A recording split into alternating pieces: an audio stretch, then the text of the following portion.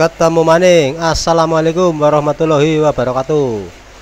Pada video kali ini saya akan mengedumkan tutorial bagaimana cara membuat NPWP secara online di HP maupun di PC atau komputer. Ikuti video ini sampai tuntas agar tidak gagal paham. Terima kasih. Mari kita lanjut menuju ke TKP cara membuat NPWP via online. Di sini bisa via atau lewat PC atau komputer juga bisa lewat HP. Dengan caranya sama. Nah, persyaratan untuk membuat NPWP sebetulnya bagi WNI cuma butuh KTP saja. Nah, kecuali kalau WNA itu butuh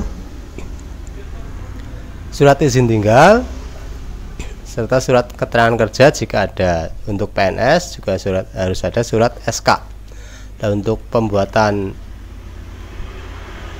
NPWP untuk pribadi itu cuma butuh KTP nah, langkah-langkah nah, membuat NPWP secara online di sini di Google pencarian di Google tulis saja pendaftaran akun NPWP nah, ini pendaftaran akun NPWP Nah, di sini teman-teman langsung aja pilih pendaftaran akun langkah satu dari dua. Nah, itu bisa di sini bisa baik dari PC atau komputer ataupun melalui handphone. Nah, langsung aja klik pendaftaran akun langkah satu dari dua. Jika kita mempergunakan HP, caranya sama. Kita tinggal tuliskan aja di Google pencarian di HP cara daftar akun NPWP. Nah, kemudian setelah itu kita pilih pendaftaran akun langkah satu dari dua. Nah setelah ini kita di menu pendaftaran caranya sama baik dengan HP maupun dengan komputer. Nah kita ikuti langkah-langkah pembuatan pembuatannya. Setelah muncul pendaftaran akun ini muncul menu ini tuliskan alamat email teman-teman. Nah, alamat emailnya harus tulis alamat email yang masih terpakai. Di sini akan saya tuliskan.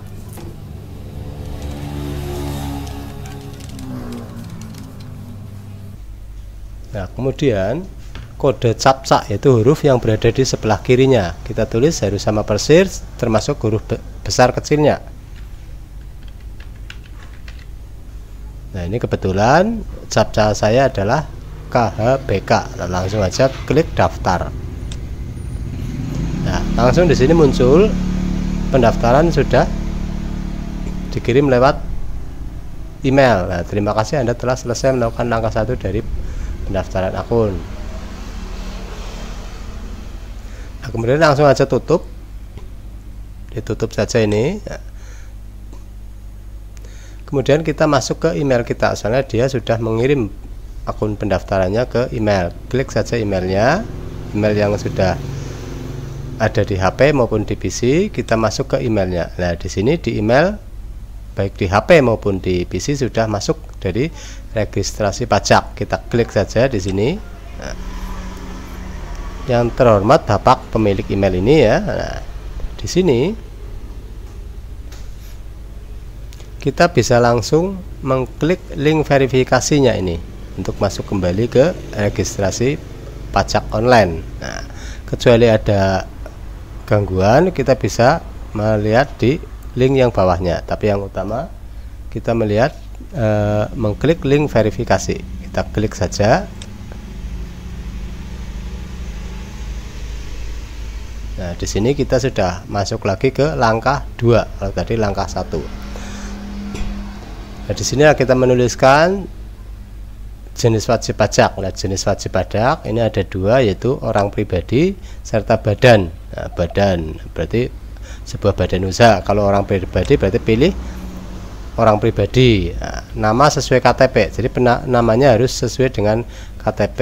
Nah, password kita bisa membuat passwordnya. Nah, ulangi password. Terus nomor HP yang masih aktif terus pertanyaan pilihan. Nah, ini pertanyaan pilihan yang cuma anda yang tahu. Begitu juga jawabannya. Nah, saya contohkan. Ini orang pribadi nama oh ya menuliskannya harus huruf kapital.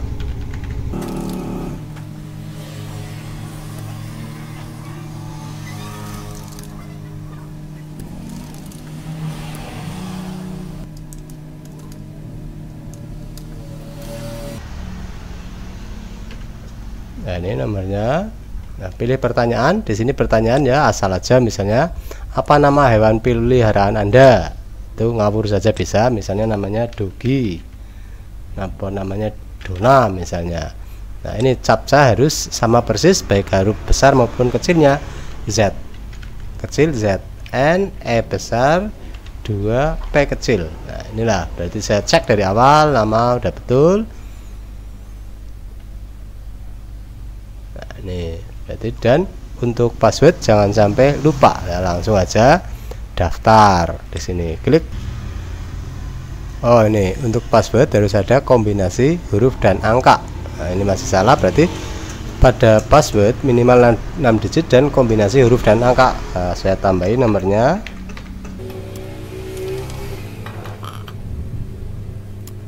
Daftar.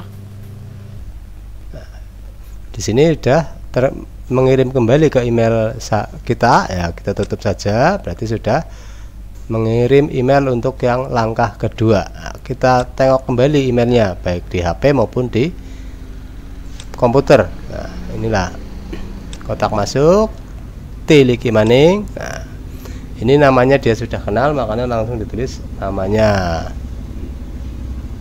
Kemudian untuk kemudian kita klik lagi link aktivasinya untuk menuju langkah ketiga. Kita klik saja di sini. Ini kalau mau dibaca secara total ya silahkan saja dibaca pada saat pembuatannya di email Anda. Kita klik saja link aktivasi. Nah ini selamat Anda berhasil dibuat. Nah ini jika uh, seperti tadi itu berarti kita kita sekarang sudah bisa login. Ya, jadi bukan daftar lagi tapi kita bisa melakukan login di Erik Pajak.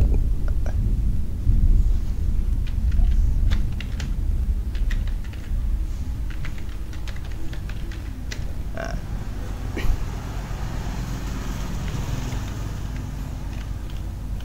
tulis saja e-registrasi pajak. Nah, kita sudah daftar tadi ini.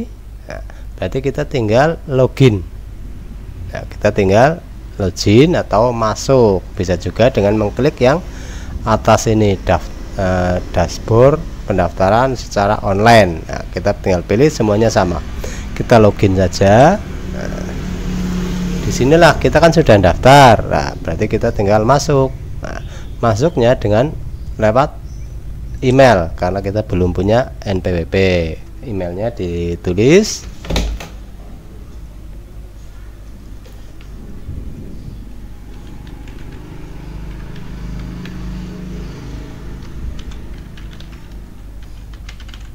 Nah, inilah sekarang passwordnya password yang tadi di NPWP nya jadi bukan password emailnya ini password yang di NPWP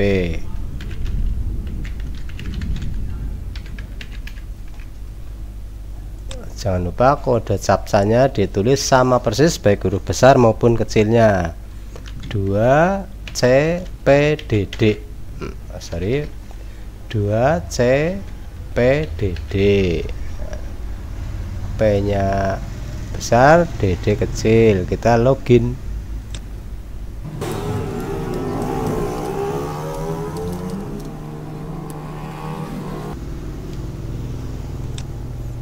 Nah inilah tahapan-tahapan pembuatan NPWP Nah ini sekarang kita masuk ke tahap awal yaitu kita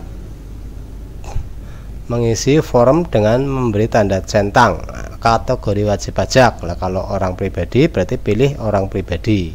Nah ini saya fokus pada orang pribadi dulu. Soalnya kalau istri itu tidak wajib bikin NPWP tapi dia ngikut ke suami kecuali kalau dia mau membuat sendiri karena alasan-alasan tertentu itu harus mencantumkan NPWP suami.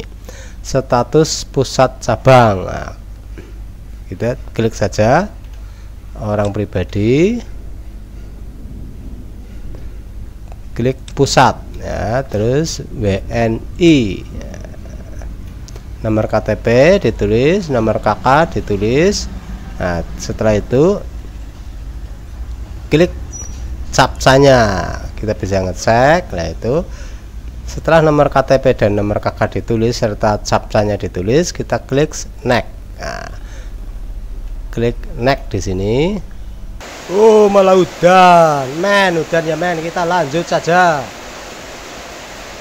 Setelah kita menekan next maka di situ kemudian akan muncul yang identitas wajib pajak. Nah di sini kita tinggal menuliskan nama wajib pajak gelar kalau ada tempat tanggal lahir nah itu status pernikahan kebangsaan dan sebagainya ini sebetulnya formal biasa. Kemudian setelah diisi semua kita tekan next lagi. Nah setelah itu sebetulnya untuk tahapan berikutnya baik untuk penghasilan itu sebenarnya kita tinggal mengisi setelah itu next untuk alamat domisili jika alamat domisili tidak sama dengan KTP di sini bisa ditulis alamat domisili ya. terus alamat KTP jika alamat domisili sama ya tinggal di kopi saja. Jika berupa usaha, di sini juga bisa dituliskan untuk alamat usaha. Kalau ada info tambahan, bisa dituliskan serta persyaratan dan pernyataan lain.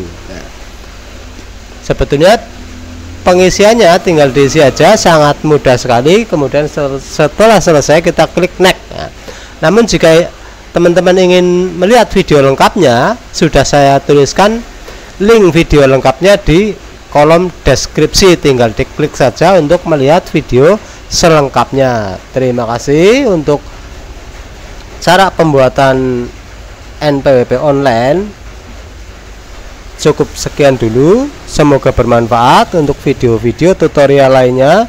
Bisa dilihat di channel komputer mendoan. Terima kasih. Wassalamualaikum warahmatullahi wabarakatuh. Sebelum kita lanjutkan, perhatikan dulu jika tombol subscribe masih merah seperti ini.